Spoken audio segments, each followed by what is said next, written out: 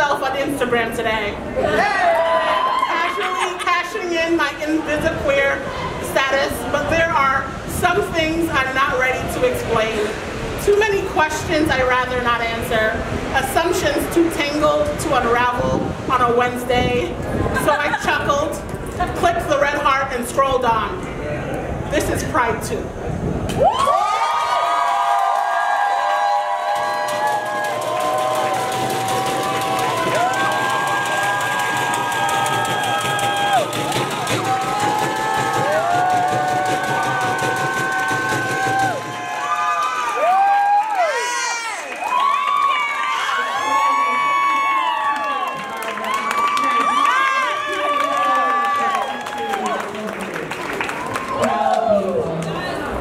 All right, we have a track